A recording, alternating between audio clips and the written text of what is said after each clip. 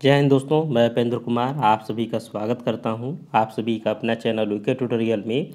आज हम लोग पढ़ेंगे झारखंड के भूगोल के बारे में और इससे संबंधित ये सेकेंड वीडियो है। इससे पहले हमने जो वीडियो एक बनाया है, उसको पहले देख लीजिएगा, तभी इसको पढ़ने में आपको मज़ा आएगा और समझ में भी आएगा। इसमें देखेंगे दोस्तों कि सारे उन ऑनलाइनर प्रश्नों को देखेंगे जो परीक्षा के दृष्टि से इम्पोर्टेंट हो सकते हैं। तो चलिए शुरू करते हैं। पहला प्रश्न है कि झारखंड का सबसे गर्म स्थान है। तो ये हो जाएगा जमशेदपुर। आपको पता होगा कि जमशेदपुर जो है, वो औद्योगिक क्षेत्र है। औद्योगिक क्षेत्र होने की वजह से थोड़ा सा और जगह की अपेक्षा यहाँ पर गर्म ज़्यादा रहती है। यानी टाटा नगर जो जमशेदपुर है, ये झारखंड का सबसे गर्म स्थान है। अगर वहीं बात करें दोस्तों कि पूरे झारखंड का औसत तापमान कितना है तो औसत तापमान जो है पच्चीस डिग्री सेल्सियस है, जिसकी अपेक्षा देखें तो जमशेदपुर में थोड़ा अधिक रहती है। अगला प्रश्न है कि झारखंड में मानसून की प्रवेश की तिथि है। तो झारखंड में मानसून की जो प्रवेश की तिथि है, ये हो जाएगा आपका 10 जून। आपको पता होगा कि भारत में मानसून का जो प्रवेश है, वो एक जून से स्टार्ट हो जाती है, जो केरल वगैरह क्षेत्र में होती है। लेकिन झारखंड आटे आटे तक देखें तो 10 दिन का समय लग जाता है और 10 जून को झारखंड का जो है, मानसून का प्रवेश तिथि माना जाता है।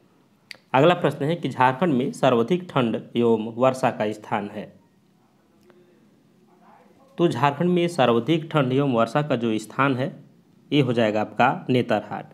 यानी लातेहार जिला के अंतर्गत जो नेतरहाट जगह है, जो सनराइज और सनसेट के नाम से भी जाना जाता है, ये जगह जो है दोस्तों झारखंड का सबसे ठंडा जगह है और पूरे झारखंड में सबसे ज़्यादा जो वर्षा होती है, वो नेतरहाट में ही होती है। अगला प्रश्न है कि झारखंड में औसत वार्षिक वर्षा दर है। तो झारखंड में औसत जो है, वार्षिक जो होता, वर्षा होती है, एक सौ चालीस सेंटीमीटर है। तो इसको भी थोड़ा सा ध्यान में रखिएगा कि झारखंड की जो औसत वार्षिक वर्षा होती है, वो एक सौ चालीस सेंटीमीटर होती है। अगला प्रश्न है कि झारखंड को कितने जलवायु प्रदेशों में विभक्त किया जाता है? तो झारखंड के देखो तो सात जलवायु प्रदेशों में विभक्त किया जाता है। और यहाँ पर थोड़ा सा ध्यान में रखिएगा दोस्तों कि सात जलवायु प्रदेश में बांटा जाता है, लेकिन एनआईडीएम की रिपोर्ट के अनुसार इसको जो है तीन ही जलवायु प्रदेशों में बांटा गया है। तो इसको थोड़ा सा ध्यान में रखिएगा क्योंकि सात और तीन में बड़ा कन्फ्यूज़न होगा। तो थोड़ा ध्यान में रखना है कि अगर पूछ देगा कि झारखंड कितने जलवायु प्रदेश में विभक्त किया गया है तो डायरेक्ट आपको करना है कि सात जलवायु प्रदेशों में से विभक्त किया गया है। अगला प्रश्न है कि झारखंड का वृक्ष छाया प्रदेश के नाम से जाना जाता है।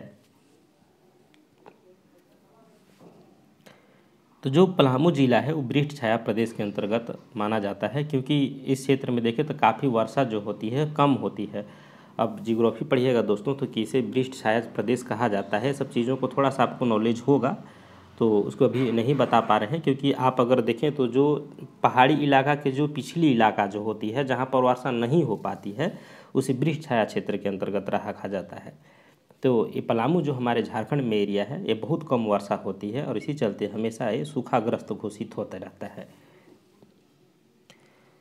अगला प्रश्न है कि राष्ट्रीय आपदा प्रबंधन संस्थान यानी एनआईडीएम के अनुसार झारखंड की कितने जलवायु प्रदेशों में विभाजित है?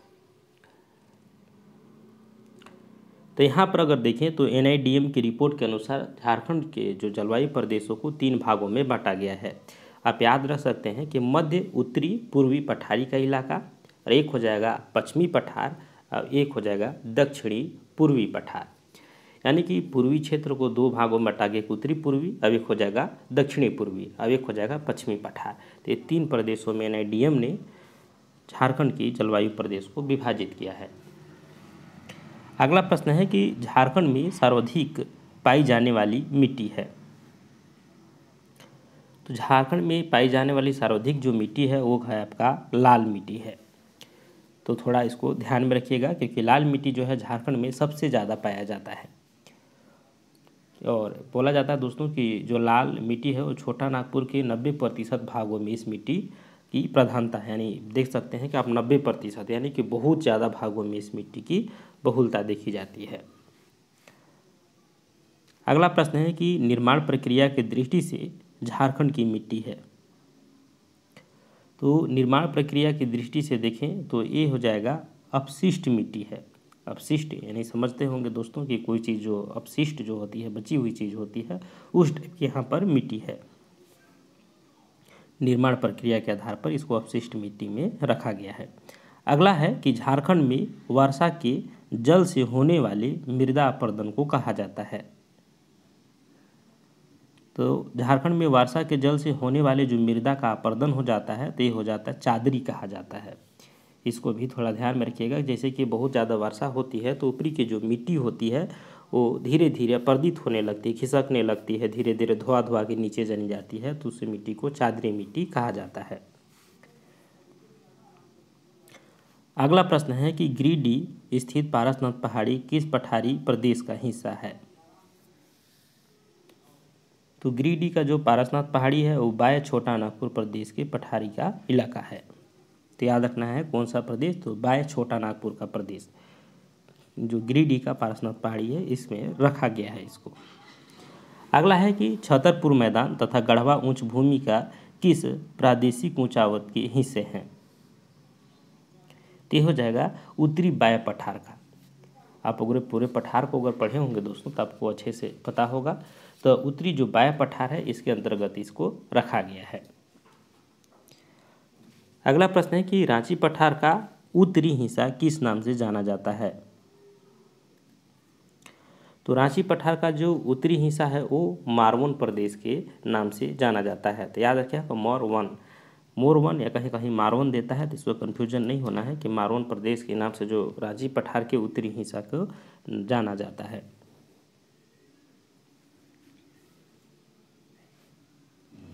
अगला प्रश्न है कि उत्तरी दामोदर एवं दक्षिणी दामोदर नदी घाटी का विभाजन करने वाली रेखा है। तो यह है दोस्तों कुंटूर रेखा। ये सब डायरेक्ट वन लाइनर है, आपको वन लाइनर फॉर्म में ही याद रखना पड़ेगा, क्योंकि उत्तरी दामोदर और दक्षिणी दामोदर नदी जो घाटी है, उसका विभाजन करने वाली रेखा को कुंटूर रेखा कहा जाता है। अगला प्रश्न है कि राजमहल पहाड़ी क्षेत्र में स्थित नुकीली पहाड़ियों को किस नाम से जाना जाता है? तो राजमहल के क्षेत्र में जहाँ पर काली मिट्टी पाई जाती है दोस्तों, राजमहल के एरिया में ही। तो ये एरिया देखिए तो इसमें जो नुकीली पहाड़ियाँ होती हैं, यानी जो त्रिभुजा आकार नुकीली नुकीली ऊँची जो पहाड़ियाँ होती है, उसको जाना जाता है टोंगरी और डोंगरी के नाम से। तो सिंपल है कि गाँव देहात में पहाड़ों को डोंगरी या टोंगरी ही कहा जाता है। वही चीज़ यहाँ है। अगला है कि चाई बासा मैदान के पश्चिमी क्षेत्र में किन वनों का विस्तार पाया जाता है। तो यहाँ पर देखिए तो चाईबासा के जो पश्चिमी क्षेत्र हैं तो ये आपको बहुत अच्छे से पता होगा कि ये सारंडा वन जो यहाँ पर प्रसिद्ध है। तो सारंडा वन की जो विस्तार पाया जाता है चाईबासा के पश्चिमी क्षेत्रों में। अगला है कि डालबूम दलमा और सरंडा पोरहाट किस मैदानी उचावत क्षेत्र में स्थित है? तो हो जाएगा चाईबासा मैदानी क्षेत्र में उचावत में स्थित है। अगला प्रश्न है कि झारखंड की नदियों की प्रकृति है। तो झारखंड की नदियों की जो प्रवृत्ति है, ये प्रायद्वीपीय है। यानी कि देखें दोस्तों तो प्रायद्वीपीय आप पूरा पूरे भारत देश में सबसे पुरानी पठार प्रायद्वीपीय पठार है। और यहाँ की नदियाँ, द्वीपीय जो है, नदियाँ हैं, वो प्रायद्वीपीय हैं। उत्तर भारत की नदियाँ जो अधिकतर है, मैदानी नदियाँ होती हैं, क्योंकि वो हिमालय क्षेत्र से बह करके आती है। और सब नव निर्मित नदियाँ हैं, जबकि प्रायद्वीपीय नदियाँ जो होती है, काफ़ी पुरानी नदियाँ होती हैं। आगे बढ़ते हैं कि झारखंड का सबसे ऊँचा जलप्रपात है। तो झारखंड का सबसे ऊँचा जलप्रपात जो आपका है, वो बूढ़ा घाघ है। बूढ़ा घाघ जो है दोस्तों, जो उत्तरी कोयल नदी जो होती है, इसी नदी पर बूढ़ा घाघ जलप्रपात है, जो चार सौ छियासठ फीट है। तो इसको थोड़ा सा ध्यान में रखिएगा, ये सबसे ऊँचा है। कहाँ है दोस्तों? तो लातेहार जिला में पड़ता है बूढ़ा घाघ जलप्रपात। हुंडू जलप्रपात जो है वो किस नदी पर है। तो हुडू जलप्रपात आपको पता होगा दोस्तों कि ये स्वर्ण रेखा नदी पर स्थित है, जो रांची से ज़्यादा दूर नहीं है, पच्चीस से तीस किलोमीटर की दूरी पर है। हुडू जलप्रपात जो काफ़ी दर्शनीय स्थल है, लोग यहाँ पर जाते हैं प्रपात में घूमने के लिए।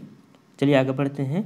जो झारखंड की सेकेंड जो है, यानी सेकेंड सबसे ऊँचा जलप्रपात माना जाता है, हुडू जलप्रपात को। अगला है कि राणू नदी पर स्थित जोन्हा जलप्रपात का नवीनतम नाम क्या है? तो राणू नदी पर जो जोन्हा जलप्रपात है, उसे गौतम धारा जलप्रपात भी कहा जाता है।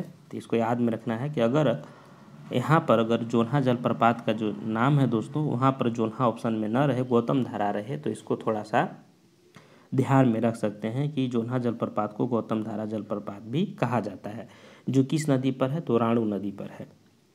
अगला प्रश्न है कि दसम जलप्रपात स्थित है। तो दसम जलप्रपात जो स्थित है, वो कांची नदी पर है। तो याद रखना है कि दसम जो जलप्रपात है, वो किस नदी पर है? तो कांची नदी पर है। ये दोनों जलप्रपात में हम लोग गए थे दोस्तों, पिकनिक अपने जब हम पढ़ाई करते थे रांची में, उस टाइम में तो दोनों जलप्रपात मैंने घूमा हुआ है। आप लोग भी जाइएगा अच्छा जगह है घूमने का। आगे बढ़ते हैं। घाघरा नदी पर स्थित हेपाद स्थित है। घाघरा नदी पर जो स्थित है हेपाद स्थित है, ये कहाँ है दोस्तों? तो आपको याद रखना है कि गुमला ज़िले में स्थित है। तो घाघरा नदी पर हेपात जो जलप्रपात है वो कहाँ स्थित है? तो गुमला नदी पर स्थित है। अगला प्रश्न घिरनी जलप्रपात स्थित है। तो हिरणी जलप्रपात जो स्थित है, आपका हो जाएगा ये पश्चिमी सिंहभूम ज़िले में स्थित है। जो भी परीक्षा की दृष्टि से बहुत इंपॉर्टेंट क्योंकि हिरनी जलप्रपात एग्ज़ाम में पूछा हुआ प्रश्न है। तो इसको थोड़ा सा ध्यान में रख सकते हैं कि हिरनी जलप्रपात जो है वो पश्चिमी सिंहभूम ज़िले में स्थित है। अगला है कि बलचोरा सुखलदरी जलप्रपात स्थित है।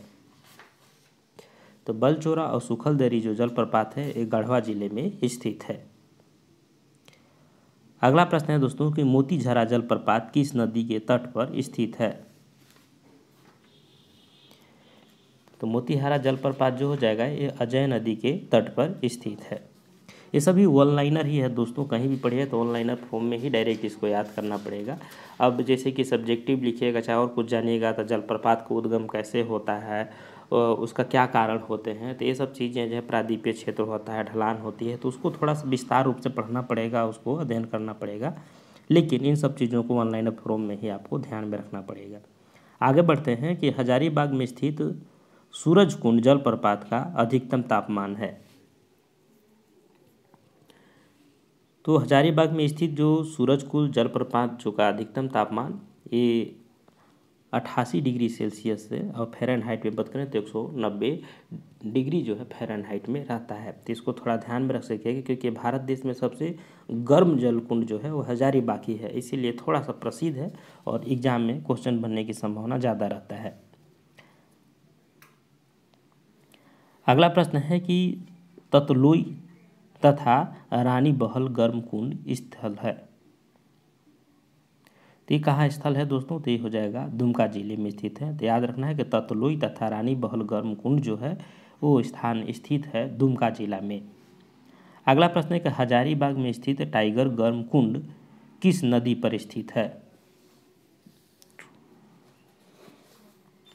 तो ये हो जाएगा आपका बराकर नदी पर। तो याद रखना है कि हजारीबाग में स्थित जो है टाइगर गर्म जल कुंड जो है, वो बराकर नदी के तट पर स्थित है। यानी बराकर नदी के पर स्थित है। आगे बढ़ते हैं। झारखंड की जलवायु को प्रभावित करने वाली प्रमुख तत्व है। तो झारखंड को प्रभावित करने वाली जो प्रमुख तत्व है, वो ऊंचाई है, अक्षांश है और समुद्र तल से दूरी है। ये तीनों चीज़ को याद रखना है कि झारखंड के जलवायु प्रभावित करने में इसका ऊंचाई, यानी अगर झारखंड के देखिए दोस्तों तो पठारी इलाका है ऊँचा, ऊंचाई वाला इलाका है और पठारी है। इसका था अक्षांशी विस्तार और यहाँ पर देखें तो समुद्र तल से दूरी, इन सभी चीज़ें जो होती है झारखंड की जलवायु को प्रभावित करती है। अगला प्रश्न है कि गर्मी के महीने में काल बैसाखी के प्रभाव से होने वाले तड़ित झंझा युक्त वर्षा को कहा जाता है। तो जो गर्मी के महीने में जो का, जो काल बैसाखी की जो महीना होता है, उसमें देखें तो उसके प्रभाव से होने वाली जो तड़ित झंझावत वर्षा होती है दोस्तों, ये हो जाता है नार्वेस्टर कहा जाता है। तो याद रखना है कि काल बैसाखी के प्रभाव से होने वाली जो झंझाइत वर्षा होता है, उसे नार्वेस्टर कहा जाता है। अगला प्रश्न है कि कुल भारतीय वनों का कितना प्रतिशत जो है झारखंड में स्थित है? तो कुल भारतीय वनों का अगर देखें दोस्तों तो तीन दशमलव चार प्रतिशत जो है हमारे झारखंड में स्थित है। वन की दृष्टि से जो है हम लोग औसत से थोड़ा सा ऊपर है। यानी कि यहाँ पर देखें तो थोड़ा सा हमारे यहाँ वन की बहुलता है और इसीलिए थोड़ा सा राज्य सरकार इसमें और ध्यान दे रही है ताकि हम लोग तैंतीस प्रतिशत जो वन की औसतन जो सीमा है उसको प्राप्त कर सकें। आगे बढ़ते हैं। झारखंड के कितना प्रतिशत क्षेत्र पर वन आच्छादन है? तो यहाँ पर देखें तो उनतीस दशमलव बासठ प्रतिशत ये 2019 का जो वन रिपोर्ट आया है, उसी के आधार पर है, उनतीस दशमलव बासठ प्रतिशत जो है झारखंड क्षेत्र में वन से आच्छादित है। अगला प्रश्न है कि झारखंड का सर्वाधिक एवं न्यूनतम क्रमशः वन आच्छादित ज़िले हैं।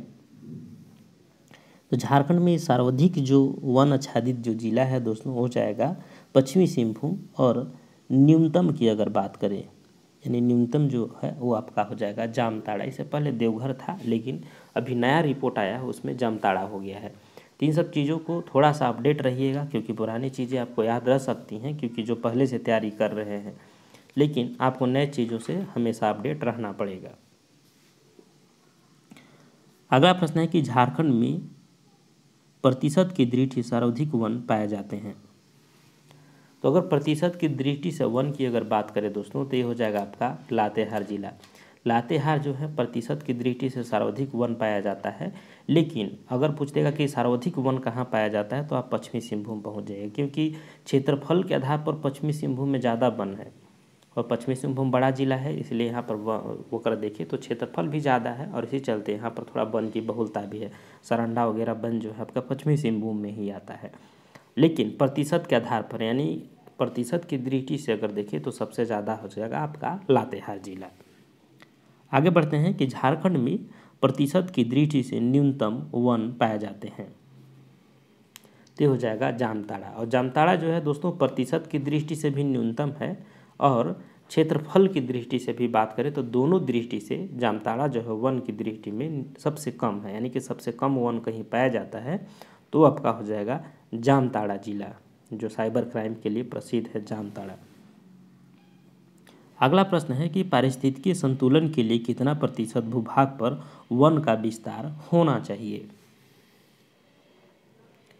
तो यह जाएगा तैंतीस प्रतिशत। तैंतीस प्रतिशत जो है दोस्तों ये एक औसतन रखा गया है कि कम से कम प्राकृतिक को संतुलन बनाए रखने के लिए पूरे देश में, चाहे कोई भी राज्य हो, देश हो, तैंतीस प्रतिशत वन जो है, ये निर्धारित किया गया है कि होना चाहिए। तो हम लोग काफ़ी करीब हैं, उनतीस दशमलव बासठ प्रतिशत में हैं। यानी कि थोड़े से, जैसे कि वन जन योजना अगर चल रहा है तो इन सब चीज़ योजना के माध्यम से वन को प्रोत्साहन किया जा रहा है रोपने के लिए पेड़ पौधों को तो इसे हम लोग प्राप्त कर सकते हैं।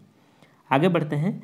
झारखंड के किस ज़िले में सर्वाधिक सुरक्षित वनों का विस्तार है? ते हो जाएगा हजारीबाग ज़िले। हजारीबाग ज़िले हैं दोस्तों, जहाँ पर सुरक्षित वनों का सर्वाधिक जो है, ये विस्तार माना जाता है। और सर्वाधिक वनों का विस्तार हजारीबाग ही ज़िले में है, सुरक्षित वनों का। आगे बढ़ते हैं। झारखंड के किस ज़िले में सर्वाधिक अवर्गीकृत वन का विस्तार है। तो सर्वाधिक अवर्गीकृत वन का विस्तार जो है आपका, वो हो जाएगा साहेबगंज जिला में है।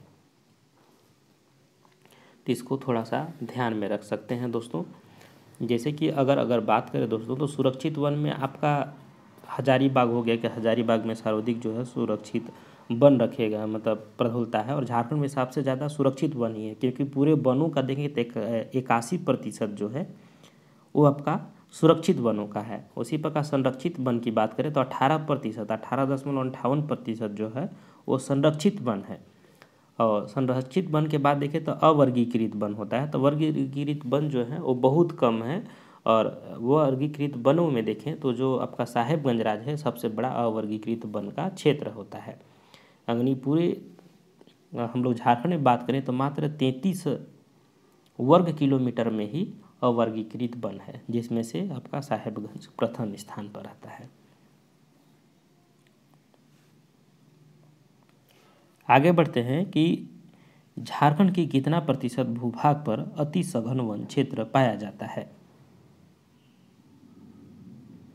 तो अति सघन वन क्षेत्र जो है, वो पाया जाता है अगर देखें तो हो जाएगा तीन दशमलव सत्ताईस प्रतिशत भाग पर। तो थोड़ा ध्यान में रखिएगा कि झारखंड में कुल कितने प्रतिशत भूभाग पर अति सघन वन पाए जाते हैं तो हो जाएगा तीन दशमलव दो सात प्रतिशत। अब वहीं अगर देखें दोस्तों तो मध्यम सघन वन जो होता है वो अगर पूछ देगा तो मध्यम सघन वन पाया जाता है आपका बारह दशमलव पंद्रह प्रतिशत पर और एक हो जाता है सामान्य। सामान्य जो होता है, यानी खुला वन उसको कह सकते हैं, यानी खुला वन जो है वो चौदह दशमलव बीस प्रतिशत भागों में पाया जाता है। तो इसको थोड़ा ध्यान में रखा, अति सघन कितना? तीन दशमलव दो सात। इसके बाद जो होता है मध्यम सघन, यानी बारह दशमलव पंद्रह, और खुला जो होता है वो चौदह दशमलव बीस, यानी चौदह दशमलव टू ज़ीरो। आगे बढ़ते हैं कि पर्णपाती वनों का राजा किस वृक्ष को कहते हैं।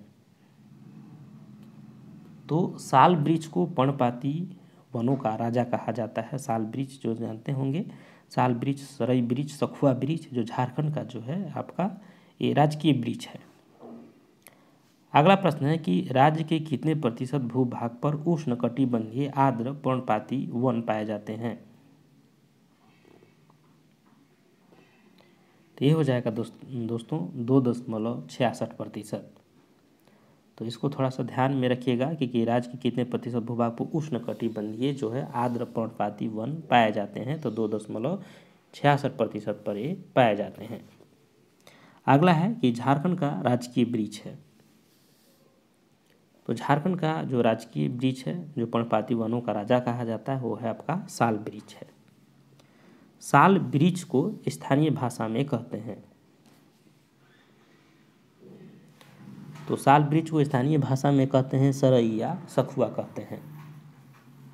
तो सरई और सखुआ को जो है उसका साल वृक्ष वृक्ष को स्थानीय भाषा में कहते हैं। दोस्तों, सरई, सखुआ तो इसको थोड़ा सा ध्यान में रखिएगा।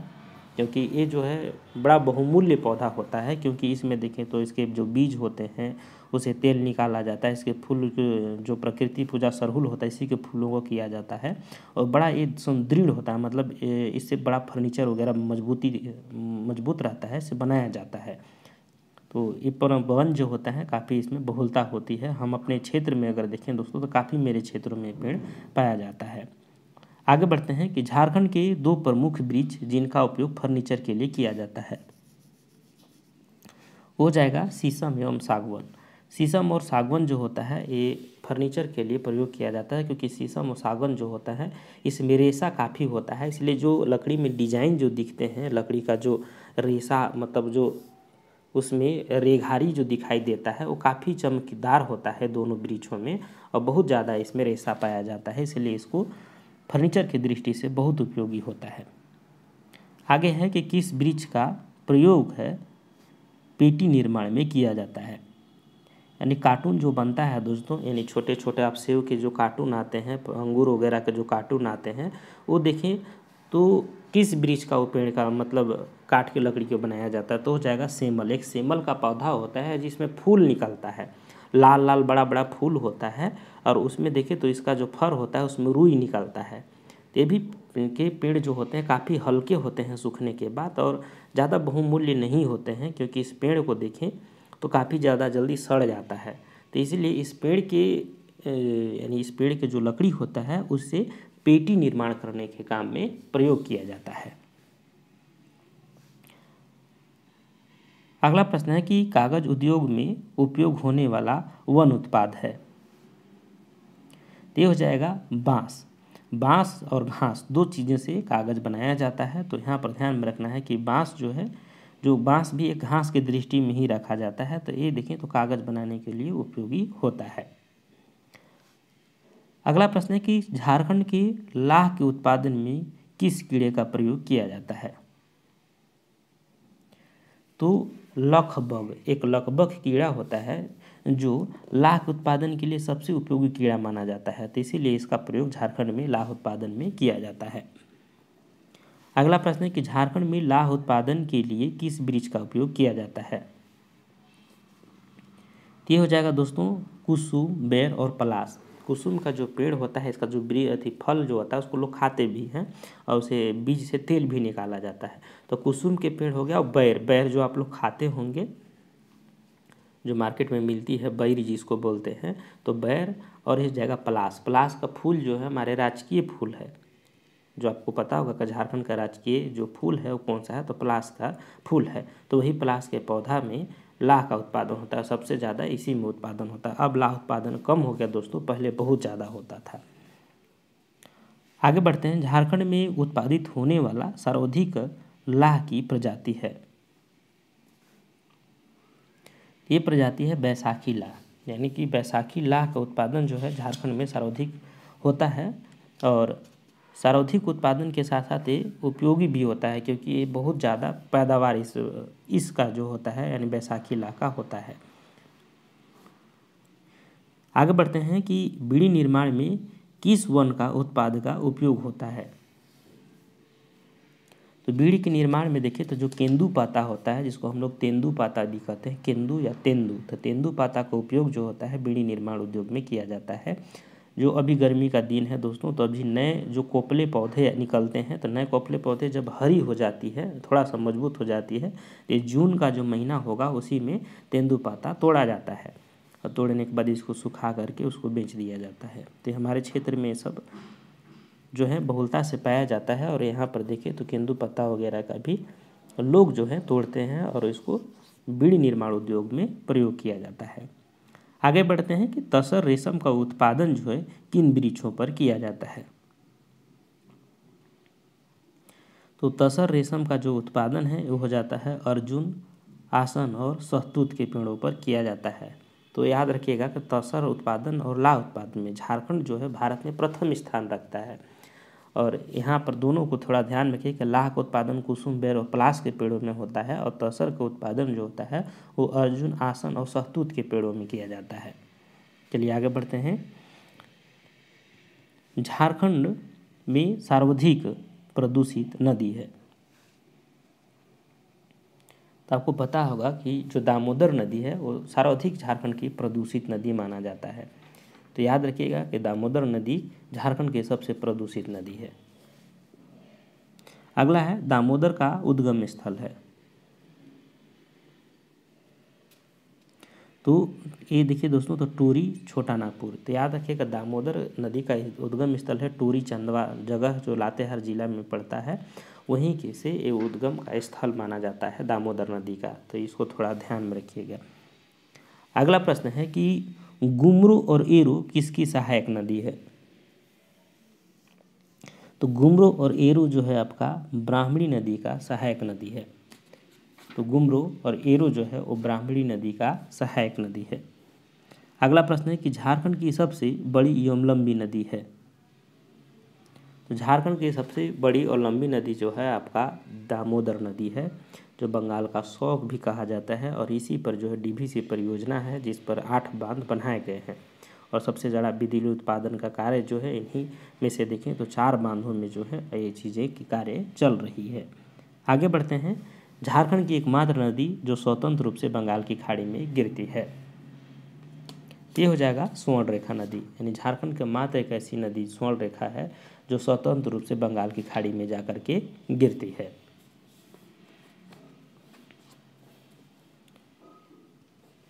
अगला है कि स्वर्ण रेखा नदी का उद्गम स्थल है। तो हो जाएगा नगड़ी रांची, यानी रांची जिला के नगड़ी नामक जगह से स्वर्ण रेखा नदी निकलती है। यहाँ पर देखिए दोस्तों तो स्वर्ण रेखा परियोजना यहाँ पर चलती है, जिसके अंतर्गत झारखंड, उड़ीसा और पश्चिम बंगाल राज्य जो हैं लाभान्वित होते हैं। यानी कि तीन राज्य लाभान्वित करने वाला जो नदी है, वो आपका हो जाएगा स्वर्ण रेखा नदी। तो इसको थोड़ा सा ध्यान में रखिएगा, क्योंकि इम्पोर्टेंट है। और परीक्षा की दृष्टि से बार बार प्रश्न यहाँ से बनते रहे हैं। आगे बढ़ते हैं कि झारखंड और उड़ीसा के बीच सीमा निर्धारण में सहायक नदी है। तो झारखंड और उड़ीसा के सीमा के निर्धारण में सहायक नदी जो होता है, वो है खरकई नदी। तो याद रखिएगा, खरकई नदी यानी उड़ीसा जो आपका क्षेत्र है दोस्तों तो देखिए तो आपका झारखंड का दक्षिणी इलाका है। और जो खरकई नदी है तो यहीं पर गुजरती है तो थोड़ा सा सीमा बनाती है। इसी चलते ये चीज़ पूछा गया है। आगे बढ़ते हैं कि दक्षिणी कोयल नदी का उद्गम स्थल है। तो दक्षिणी कोयल नदी भी रांची से ही निकलती है, नगड़ी से। याद रखिएगा, और दक्षिणी कोयल नदी जो है आपका पश्चिमी सिंहभूम वगैरह के इलाका में बहती है। अगला प्रश्न है कि झारखंड की किन नदियों का मुहाना जो है हुगली से संबंधित है? तो झारखंड की अगर देखिए दोस्तों तो जो दामोदर नदी है, मयूराक्षी नदी और ब्राह्मणी नदी, इन नदी नदियाँ जो हैं, वो जा कर के हुगली नदी में मिल जाती है। यानी कि दामोदर नदी जो पूछेगा तो मई, हुगली की सहायक नदी है। उसी प्रकार मयूराक्षी नदी हो गया, ब्राह्मणी नदी हो गया, ये स्वतंत्र रूप से बंगाल की खाड़ी में नहीं गिरती है, बल्कि ये हुगली नदी में जा के मिल जाती है। अगला प्रश्न है कि झारखंड से निकलने वाली वे प्रमुख नदियाँ जो अपना विलय गंगा में करती है। तो जो सोन नदी है, पुनपुन और सकरी, ये सभी नदियाँ अगर देखें दोस्तों तो आपका जो गढ़वा पलामू का इलाका है, इस क्षेत्र से बहती है। और ये देखिए तो जा कर के सोन नदी के सहायक नदियाँ में ये सब नाम आ जाता है, पुनपुन और सकरी का। और ये नदियाँ जो हैं, आपके गंगा नदी में जा कर के मिल जाती है।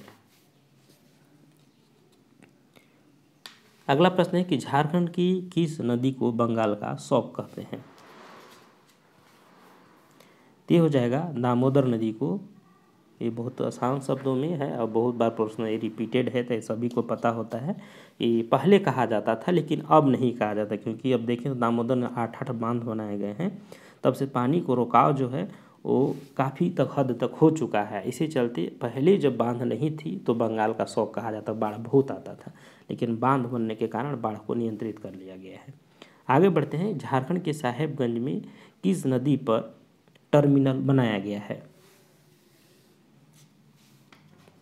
तो हो जाएगा दोस्तों कि गंगा नदी पर जो है, वो टर्मिनल बनाया गया है। तो याद रखिएगा, झारखंड में जो एकमात्र जिला जो साहेबगंज है, जो गंगा नदी को स्पर्श करता है और यहीं पर टर्मिनल बनाया गया। अगला प्रश्न है कि झारखंड की अधिकांश नदियों के द्वारा नदी, नतीलंब जलप्रपात एवं विसर्प निर्माण के कारण है। तो झारखंड की जो अधिकांश नदियाँ हैं जो दोस्तों, वो नदी नल्म और जलप्रपात और विसर्प का निर्माण करती है, क्योंकि नदियों का द्वारा ढाल का अनुसरण करना, यानी जैसे जैसे ढाल है, उस अनुसार से नदियाँ अनुसरण करती है इसी के कारण इसका निर्माण करती हैं।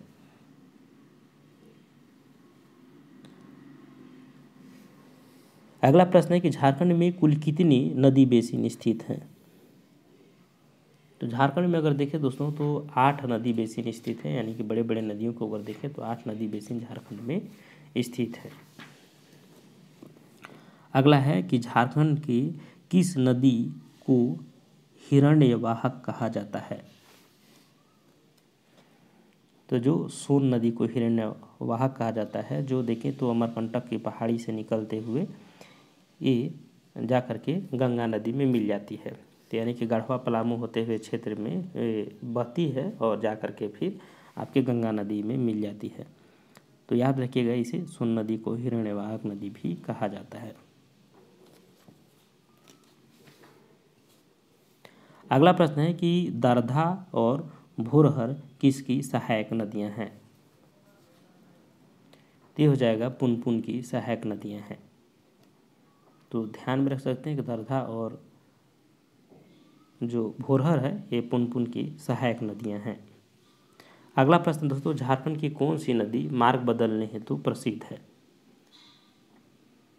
ये हो जाएगा सकरी नदी। जो सकरी नदी है, ये झारखंड की जो मार्ग बदलने के लिए कुख्यात है, यानी कि ये जो है मार्ग बदलने के लिए प्रसिद्ध है। झारखंड की एकमात्र नदी जो है सकरी नदी है, जो अपना मार्ग को परिवर्तित करती रहती है। अगला प्रश्न है कि झारखंड से कितनी सॉरी दोस्तों झारखंड से निकलने वाली प्रसिद्ध नदी जो श्राद्ध एवं पिंडदान के लिए प्रसिद्ध है। तो ये हो जाएगा फल्गु नदी। फल्गु नदी जो है वो झारखंड में श्राद्ध, यानी जैसे कि कोई मर जाता है तो श्राद्ध कान किया जाता है, पिंडदान किया जाता है। इसके लिए जो देखें तो जो फल्गु नदी है वो प्रसिद्ध है। अगला है कि वरंगा और अमानत किसकी सहायक नदियाँ हैं? तो जो वरंगा और अमानत है दोस्तों, ये आपका हो जाएगा उत्तरी कोयल की सहायक नदी है। तो याद रख सकते हैं दोस्तों कि उत्तरी कोयल की जो सहायक नदी हो जाएगा और जो औरंगा नदी है और अमानत नदी है। आपको पता होगा औरंगा नदी के किनारे ही पलामू का किला स्थित है और ये दोनों नदियाँ आगे जाकर के उत्तरी कोयल नदी में मिल जाती है।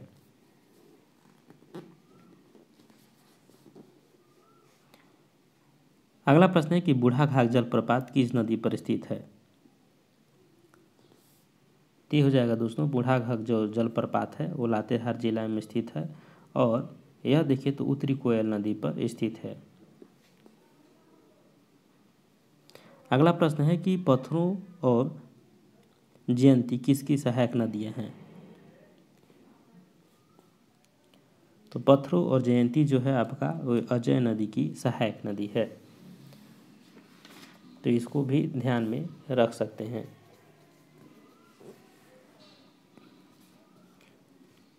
अगर अजय नदी की बात करें दोस्तों तो इसका जो उद्गम स्थल है, मुंगेर बिहार है, लेकिन मुहाना बनाती है भागीरथी और बंगाल में। तो इसमें थोड़ा ध्यान में रखिएगा कि अजय नदी का जो उद्गम स्थल है, बिहार है, क्योंकि बिहार उद्गम स्थल है तो थोड़ा इसलिए प्रश्न बनने की संभावना ज़्यादा रहती है, इसलिए इसको थोड़ा सा ध्यान में रख सकते हैं, क्योंकि बाकी जो नदियाँ हैं सभी कहीं ना कहीं झारखंड से ही निकलती हैं। जैसे सोन नदी तो एमपी से निकलती है, और जैसे कि पुनपुन नदी भी मध्य प्रदेश के पठार से निकलती है। लेकिन थोड़ा सा विजय, जो अजय नदी है, वो हमारे बिहार से लगा हुआ है, इसलिए थोड़ा इम्पोर्टेंट रखता है, इसलिए थोड़ा ध्यान में रखिएगा।